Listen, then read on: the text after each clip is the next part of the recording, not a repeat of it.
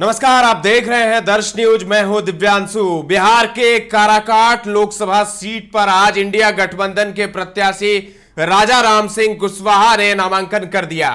जी हाँ, काराकाट लोकसभा क्षेत्र अस्तित्व में आया है, तब से सभी चुनाव में कुशवाहा की ही जीत हुई है, जिस कारण अब इस क्षेत्र को कुशवाहा लैंड कहा जाने लगा है। लोकसभा चुनाव में एक बार फिर कुशवाहा प्रत्याशियों के बीच भिड़ंत है। भाजपा नीत आराजक यानी एनडीए के गठबंधन ने राष्ट्रीय लोक मोर्चा के अध्यक्ष उपेंद्र कुशवाहा को काराकाट से प्रत्याशी बनाया है, जबकि इंडिया गठबंधन से भाकपा माले के नेता राजा राम सिंह कुशवाहा प्रत्याशी हैं। दोनों कुशवाहा हैं। और आज इंडिया गठबंधन के नेता राजा राम सिंह कुशवाहा ने अपना नामांकन किया, प्रत्याशी हैं यहाँ से। और कहा जा रहा है कि काराकाट में बेहद दिलचस्प लड़ाई होगी उपेंद्र कुशवाहा और राजा राम सिंह कुशवाहा के बीच में। लेकिन आपको यह भी बता दें कि यहाँ पर पवन सिंह भी मैदान में है। जी हाँ, Pawan Singh, Bhojpuri superstar, power star, Pawan Singh Karakat से लड़ रहे हैं, निर्दलीय। और पवन सिंह के लड़ने से मुश्किलें अगर खड़ी हुई है किसी की तो वो उपेंद्र कुशवाहा ही है। क्योंकि पवन सिंह आते हैं राजपूत बिरादरी से, जिनकी संख्या काराकाट में अच्छी खासी है। और अगर वो वोट काटेंगे तो निश्चित तौर पर एनडीए गठबंधन, यानी उपेंद्र कुशवाहा का ही वोट काटेंगे, जिससे राजा राम सिंह कुशवाहा की स्थिति जो है वो मज़बूत होती नज़र आ रही है यहाँ पर। और आज राजा राम सिंह कुशवाहा ने अपना नामांकन किया। नामांकन के बाद क्या कुछ उन्होंने कहा है, हम आपको वो सुनाते हैं पहले। काराकाट लोकसभा का यह चुनाव पूरा का पूरा विशेष चुनाव है, क्योंकि देश में संविधान लोकतंत्र का सवाल है और देश की जनता इस बार संविधान को किसी भी कीमत पर ख़त्म करने के पक्ष में नहीं है। कुछ ताकतें साजिश कर रही हैं संविधान के खिलाफ, देश के लोकतंत्र के खिलाफ। तो ये चुनाव सबसे पहला एजेंडा तो ये है। दूसरा सवाल है, देश की खेती किसानों के हाथ में रहेगी या कॉरपोरेट को सौंप दी जाएगी? ये इस चुनाव से तय होना है। और देश के किसान मानते हैं कि ये चुनाव के बाद देश की खेती हमारे हाथ में रहनी चाहिए कॉरपोरेट को नीलाम नहीं होना चाहिए।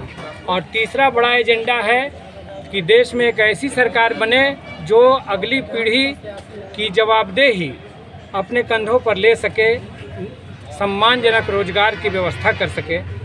इसके साथ साथ देश में महँगाई कम हो, भ्रष्टाचार मुक्त समाज बने, देश में नफ़रत की जो आंधी चल रही है तो एक भाईचारा और एकता और अमन कायम हो। ये सारे सवाल हैं। इसके साथ साथ खेती को लाभकारी बनाने का बड़ा प्रश्न है कि फ़सलों को वाजिब दाम मिले। C two plus fifty percent Swaminathan commission ने जो कहा, उसके अनुरूप फ़सलों का दाम मिले और कानूनी, खरीद की कानूनी गारंटी हो। इस पर देश का किसान आंदोलन चला भी लंबे समय तक, अभी भी वो आंदोलन जारी है। तो किसानों के साथ न्याय होना चाहिए, मजदूरों के साथ न्याय होना चाहिए।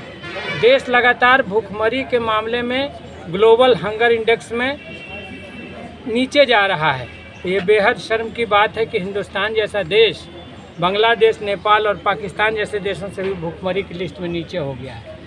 तो ये सब मुद्दे हैं। इसके साथ साथ स्थानीय मुद्दों में नहरों का सवाल है। आज के सर्वे के आधार पर सोन नहरों का आधुनिकीकरण करो और इंद्रपुरी जलाशय का शीघ्र निर्माण करो।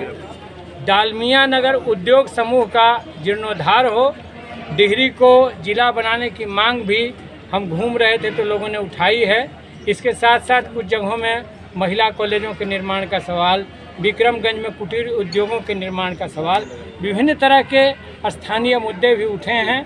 मैं समझता हूँ कि वहाँ के अन्य प्रतिनिधियों के साथ मिल करके चुनाव जीतने के बाद हम एक बड़ी कार्य योजना बनाएँगे और उस पर हम अमल करेंगे। उस पर पार्लियामेंट में भी उस सवाल को उठाएँगे और साथ ही साथ राज्य सरकार से भी बात करेंगे कि इस क्षेत्र की जो समस्याएँ हैं, उनका समुचित समाधान निकलना चाहिए। इस बीच में बहुत सारी जगहों पर आग लगने से हमारे तेरह बच्चे और औरतें मर गए कछवा बिराहीपुर में और रोपहता में। तो इन दोनों जगह पर बड़ा जनसंहार हुआ एक तरह से कई अग्निकांड के ज़रिए। और उसमें सबसे बड़ी बात यह है कि प्रधानमंत्री लगातार बोलते हैं कि हमने हर घर को नल जल दे दिया पक्का मकान बना दिया गैस सिलेंडर दे दिया लेकिन इन घरों में कहीं तो गैस सिलेंडर नहीं था नल जल नहीं था उनके घर पक्के के घर नहीं थे। तो लगता है कि सरकारी घोषणाएँ एनडीए सरकार के दौर में हवाई रही हैं और इसलिए इस चुनाव में जनता उनको सबक सिखाएगी और इंडिया गठबंधन की सरकार बनाएगी। तो सुना आपने राजाराम सिंह कुशवाहा को 2008 के परिसीमन के समय काराकाट वजूद में आया और 2009, 2014 और 2019 में हुए लोकसभा चुनाव में जीत कुशवाहा जाति के नेताओं की हुई। 2009 में राजद के डॉक्टर कांति सिंह को जदयू के महाबली सिंह ने हराया।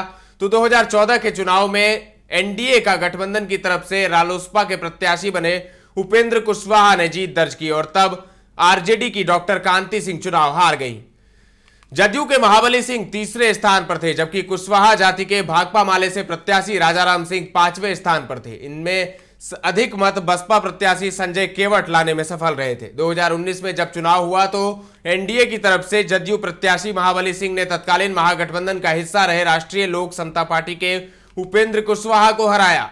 राजाराम सिंह का प्रदर्शन तीनों ही चुनाव में खराब रहा है। जब तीनों दल भाजपा, जदयू व राजद अलग अलग थे, तब भी महाबली से खराब प्रदर्शन राजाराम का रहा है। तीनों चुनाव में राजाराम सिंह अपनी जमानत तक नहीं बचा सके हैं। और अब इस बार आमने सामने की टक्कर में माना जा रहा है कि पूर्व की अपेक्षा राजा राम सिंह का प्रदर्शन बेहतर होना तय है। तो अब देखिए क्या होता है, काराकाट की जो लड़ाई है, वो भी बेहद दिलचस्प है। यहाँ पर एआईएम के उम्मीदवार भी हैं और यहाँ पर निर्दलीय उम्मीदवार भी हैं। तो लेकिन राजा राम सिंह कुशवाहा को उम्मीद है कि इस बार जीत उनकी होगी, क्योंकि पवन सिंह यहाँ से खड़े हैं। तो अब देखिए क्या होता है, क्या पवन सिंह के यहाँ से निर्दलीय प्रत्याशी बनने से उपेंद्र कुशवाहा की हार हो जाएगी राजा राम सिंह की बल्ले बल्ले हो जाएगी? क्योंकि पिछले तीन चुनाव में राजा राम सिंह ज़रूर प्रत्याशी बने हैं, लेकिन उन्हें तीनों में हार मिली है। तो क्या इस बार राजा राम सिंह कुशवाहा को जीत का स्वाद मिलेगा? खैर, ये तो चार जून को ही पता चलेगा। आपको क्या लगता है, कमेंट करके ज़रूर बताएँ। ताज़ा तरीन खबरों का सिलसिला लगातार जारी है। देखते रहें दर्श न्यूज़।